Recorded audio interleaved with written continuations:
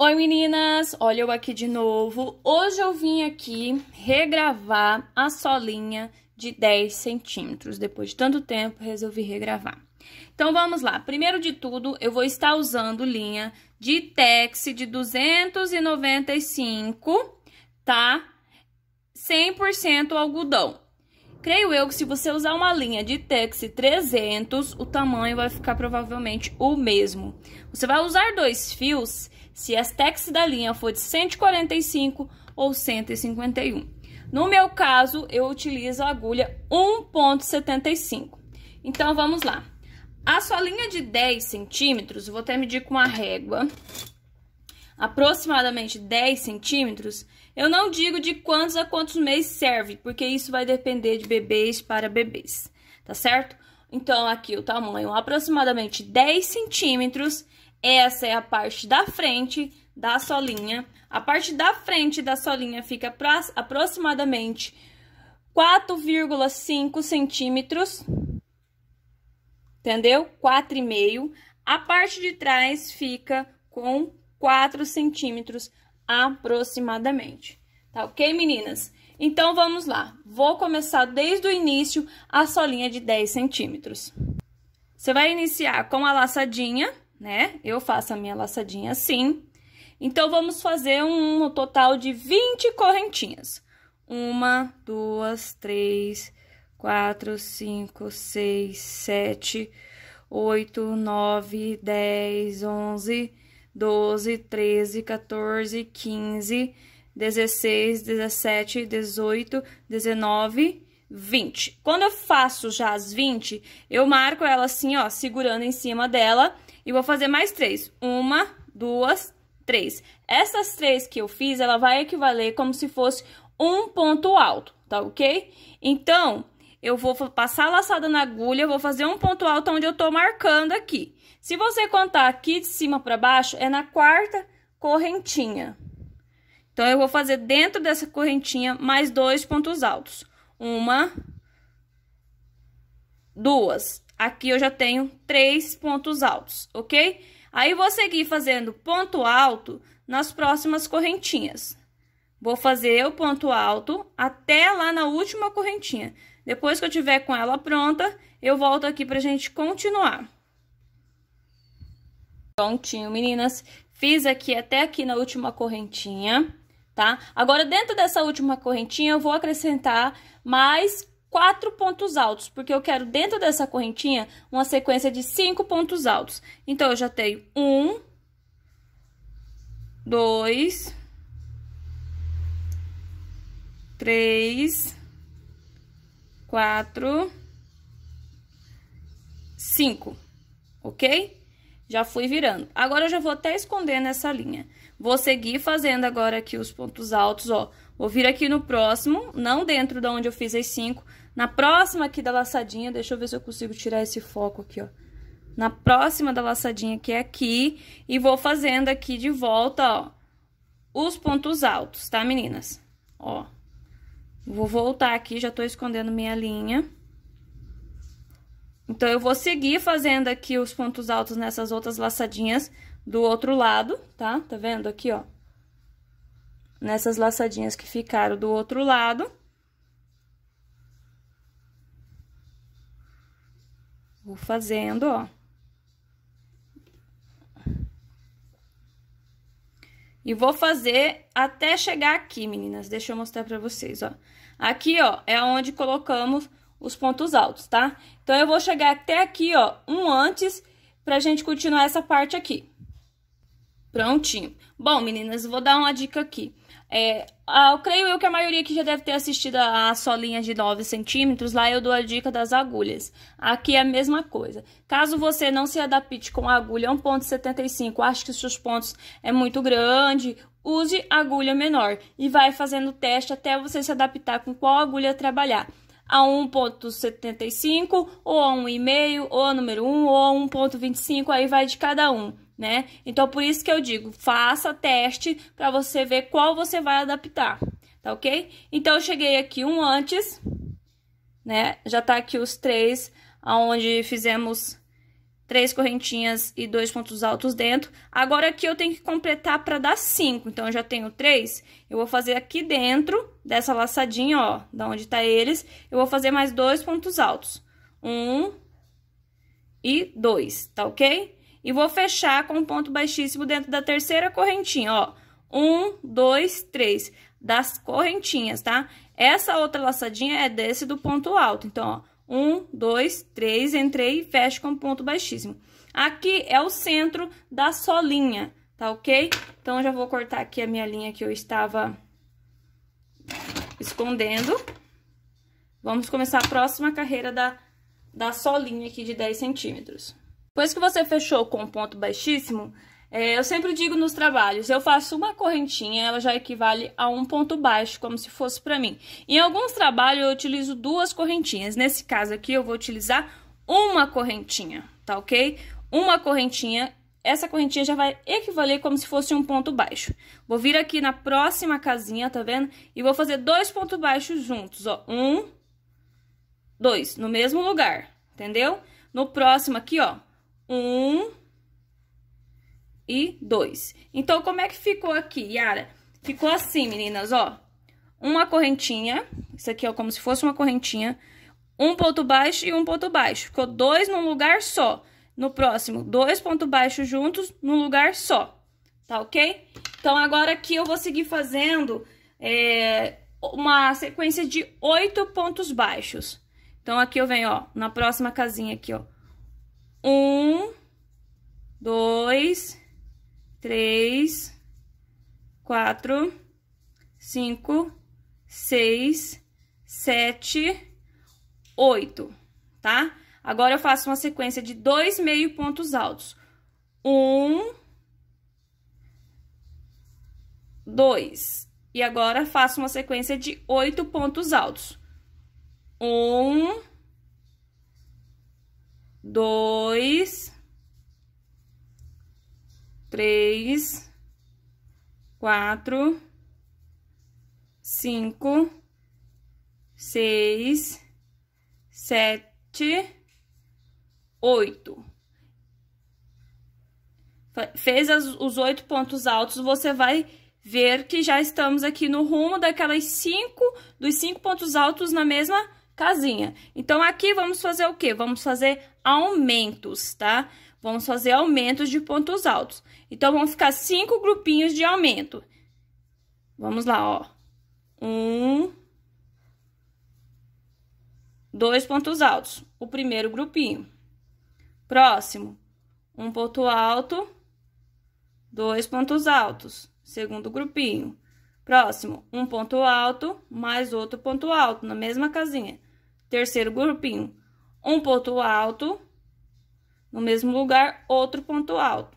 Quarto grupinho. Um ponto alto, na mesma casinha, no mesmo lugar, outro ponto alto. Cinco grupinhos de pontos altos, ok? Agora aqui, ó, já estamos praticamente nessa parte aqui, sem ser onde eu os cinco. Vamos repetir o que fizemos desse lado, vamos fazer desse outro. Então, vamos fazer uma sequência de oito pontos altos. Um, dois, três, quatro, cinco, seis, sete, oito. Oito pontos altos. Agora, mais dois meio ponto alto. Um. E dois meio pontos altos. E faça a sequência de oito pontos baixos. Eu vou fazer o meu aqui, a sequência de oito pontos baixos e volto pra gente continuar nessa partezinha daqui de trás. Meninas, fiz aqui a sequência de oito pontos baixos. Agora, eu vou fazer o que aqui? Um grupinho de ponto baixo, né? Aqui, já chegamos no rumo dos cinco aqui. Então, eu vou repetir o que eu fiz aqui, vou fazer aqui também. Então, aqui, ó, um ponto baixo, na mesma casinha, outro ponto baixo. Próximo, um ponto baixo, na mesma casinha, outro ponto baixo. Vou fechar com ponto baixíssimo aqui? Não. Você está vendo essa laçadinha aqui? Porque aqui está aquela correntinha que fizemos, como se equivalesse um ponto baixo. Isso aqui é do ponto baixíssimo da, da carreira de baixo. Então, vamos entrar aqui, ó, ó. E vou fazer um ponto baixo. E aí, sim, eu vou fechar com ponto baixíssimo dentro da correntinha aqui, ó. Certo? Então, agora aqui é onde sempre as meninas se confundem, né? Se confundem. É, vamos fazer o que agora? Três correntinhas, uma, duas, três correntinhas. Essas três correntinhas vai equivaler como se fosse um ponto alto, tá ok? Laçada na agulha.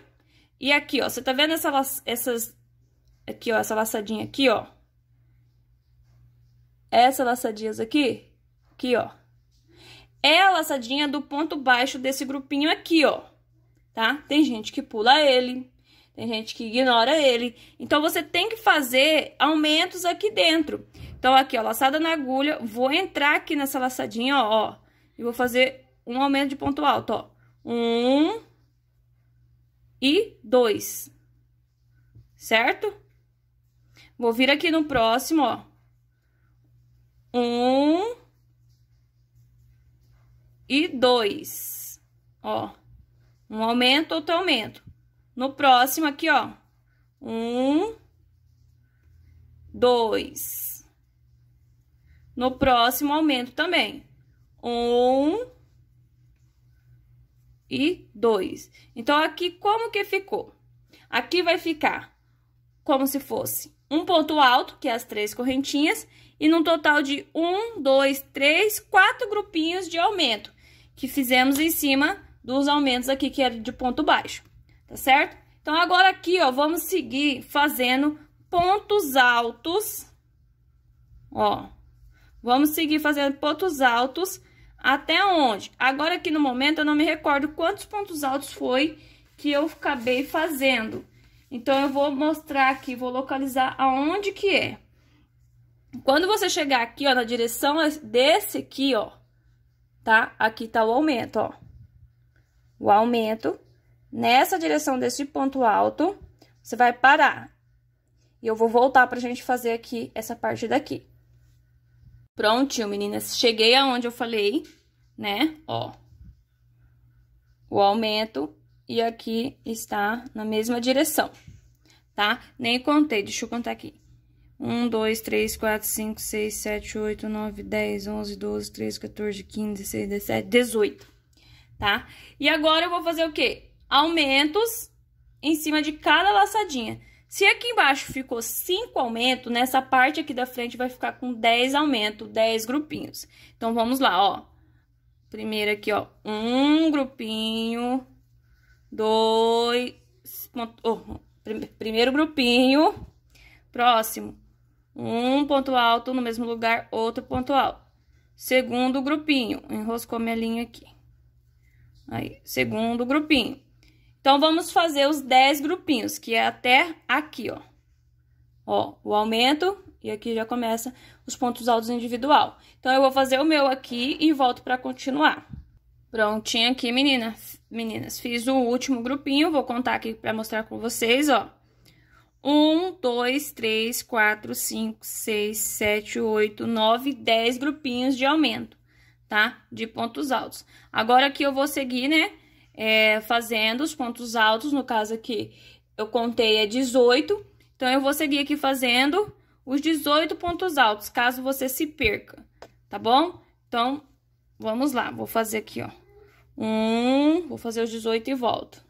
Prontinho, meninas. Fiz aqui os 18 pontos altos. Fazendo os 18 pontos altos, é, vamos ver que chegamos aqui, ó, um antes para começar os aumentos de ponto baixo. Aqui vamos fazer o quê? Vamos repetir a mesma coisa que fizemos desse outro lado. Vamos fazer quatro grupinhos de aumento, né? Então, vamos lá, ó.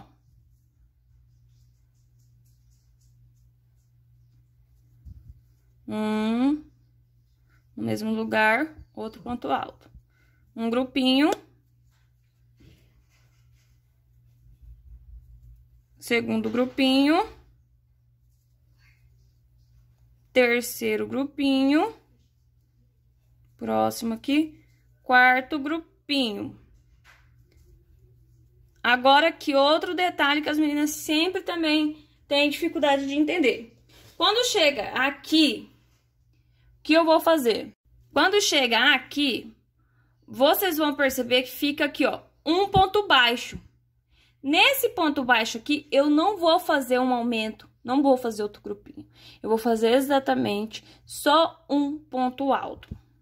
Ó, só um ponto alto, certo?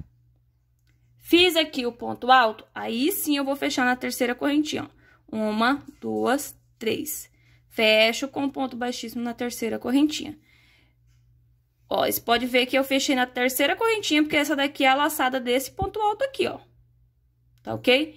Então, agora aqui, meninas, o que, que vocês vão fazer? Se vocês já fizeram, é, vocês vão pegar uma régua e vão medir, ver se já deu 10 centímetros. No meu caso, não dá 10 centímetros, tá? Ó, ele deu 9. Então, por isso eu passo aquela carreira de ponto baixo todo em volta. Se você pegou, fez com agulha 1.75 ou com agulha 1,5, 1,25, com a agulha que você estiver usando e já deu 10 centímetros, não é necessário você fazer aquela volta de carreira de ponto baixo tá ok? Mas se caso você fez, tá igual a minha, não deu, aí você vai passar a carreira de ponto baixo. É, como que você vai saber se a sua solinha tá certa? Nesse exato momento, quando você começar a passar a carreira de ponto baixo, você já vai começar a contar. Por quê? Essa solinha de 10 centímetros tem que ficar com 74 pontos, certo? Tem que ficar com 74 pontos. Tem muitas meninas que fala que não dá, às vezes dá um a menos ou dá a mais. Se der a mais, é porque errou por aqui assim, ou aqui na frente. Algum lugar você aumentou. Se der a menos, é porque você está esquecendo de contar a primeira correntinha. Vamos supor, é para dar 74, tá dando 73. Você está esquecendo de contar com a primeira correntinha. Porque aquela primeira correntinha, ela conta como se fosse um ponto baixo. E pode ser que você está fechando em lugar errado. E por isso também acontece de acabar diminuindo aqui. É aquilo que eu falo, se você fechar no lugar errado aqui, o ponto baixíssimo, você também vai estar comendo um ponto. Você vai estar fechando no, na casinha do ponto do lado. Então, isso vai fazer com que diminua um ponto. Tá ok? Então, agora, eu vou fazer aqui, ó. Vou mostrar pra vocês como que é que vai ficar no final, ó. Essa aqui eu já conto, ó. Um, aí eu vou vir aqui no próximo, ó. Dois, três, quatro, cinco, seis, sete, oito, nove e dez e vou passando. Vocês viram que aqui onde foi que fiz os grupinhos aqui na parte do calcanhar, eu só fui passando ponto sobre ponto? Então, vai ser a mesma coisa aqui na frente. Eu vou passando ponto sobre ponto, não vou fazer aumento nenhum, tá ok? Quando tiver chegando aqui assim no finalzinho, eu volto pra gente continuar. Prontinho, meninas. Passei toda em volta a carreira de ponto baixo.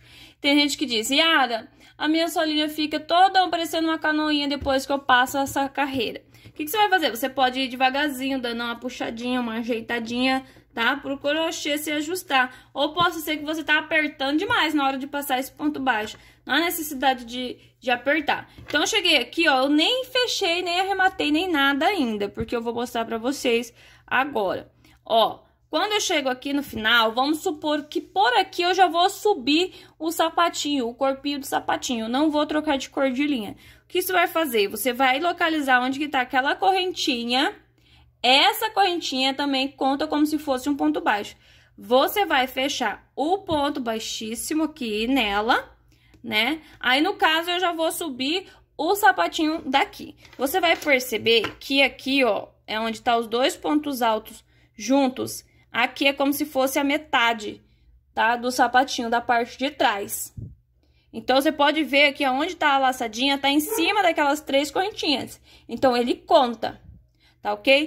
Esse caso, aí aqui você já poderia subir, ó, um, dois, três, e se você fosse fazendo, né, a, o sapatinho, aí você só subiria. Agora, se você fosse trabalhar em ponto relevo, é, eu já mostrei lá em pontos básicos como é que faz, tá ok? Não vou mostrar aqui porque eu tô mostrando só a solinha agora no momento. Então, você assistiu aqui quer saber como faz, vai lá em pontos básicos, tá certo, meninas? Então, vamos lá. É, Yara, eu já vou arrematar, vou fazer igual essa daqui, ó. É, porque eu vou fazer uma sandalinha. Então, quando você chegar aqui e fizer o último ponto baixo, ó, fez aqui o último ponto baixo, você vai fazer o quê? Puxa um pouco de linha, pega a tesoura, corte aí a linha, tá certo? É, usa um, a 1.25 para estar tá fazendo essa parte do acabamento. Então, aí você vai puxar toda a linha. Não arrematei aqui dentro dessa correntinha. Puxei toda a linha. Então, esse aqui eu já venho mostrando também nos trabalhos de acabamento. É a mesma coisa que eu vou estar tá fazendo. Então, eu vou virar o trabalho assim, ó. Esse aqui é a parte do crochê, essa é a parte do avesso. O que que eu vou fazer? Eu faço assim, né? Viro pra mim aqui e vou localizar aqui, meninas. Deixa eu só arrumar assim pra poder ficar mais fácil. Como eu abri, eu vou localizar aqui a laçadinha desse ponto baixo. Aqui é a correntinha que fizemos pra iniciar. Tá vendo? E aqui é a laçadinha do ponto baixo, é aquela curvinha do ponto baixo. Eu vou estar introduzindo a agulha assim, ó. Ó. As duas laçadinhas. Vou puxar esse fio aqui pra trás tá?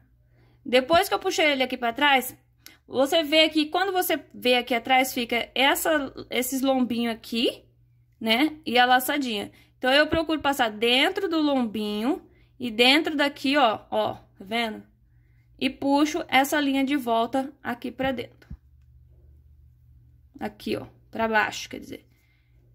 Aí, antes de arrematar, eu dou uma ajeitada, uma ajustada e quando você virar, você vai ver que ele também ficou igual aos demais. Então, ó, ele fica irreconhecível, ele fica igual às laçadinhas, certo?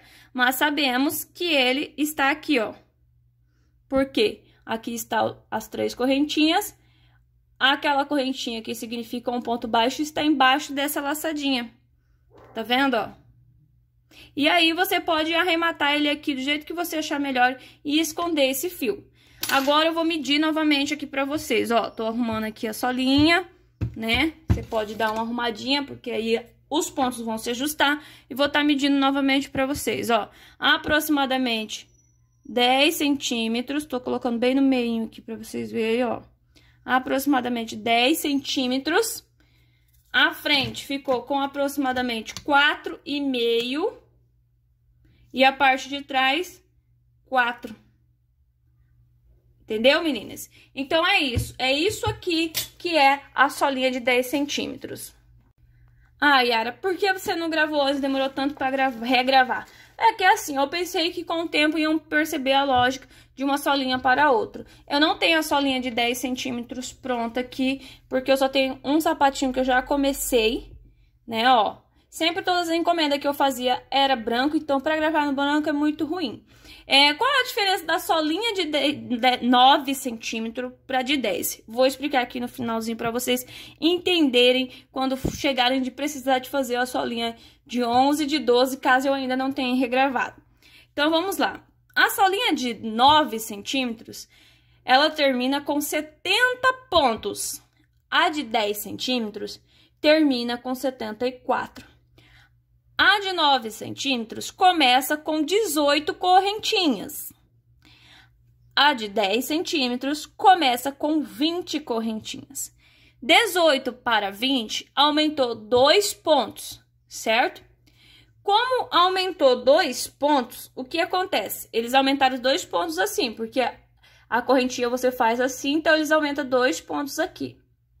Então, conforme você vai fazendo, vai aumentar dois pontos para esse lado e dois pontos para esse lado. Não é assim? Porque tudo que você faz de um lado, você faz do outro. Então, se você aumentou aqui, né, dois pontos aqui, você vai aumentar dois pontos aqui. Então, por isso que de 70 foi para 74. Aumentou só dois pontos, porém, aumentou dois pontos desse lado e desse outro lado tá ok? E aí, no sapatinho também você vai usar essa lógica quando subir a parte do corpinho, né? Porque se ele tá subindo, as laterais, que eu sempre digo nos sapatinhos, se aumentou nas laterais, você vai ter que aumentar dois pontos de cada lado das laterais do sapatinho. Eu sempre digo, jogo na lateral ou na parte do calcanhar esses pontos que estão aumentando. Então, essa é a diferença. E essa é a lógica que eu sempre procuro usar quando eu aumento um sapatinho para o outro. Que talvez alguns já perceberam, outras não. Aqui no caso, eu estou fazendo aquele sapatinho. É, é agora esqueci o nome, Luana, se não me engano, que é aquele de customizar. Esse aqui é o de 9 centímetros.